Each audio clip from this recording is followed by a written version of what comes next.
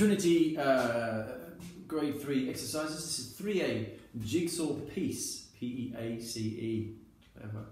Two, three.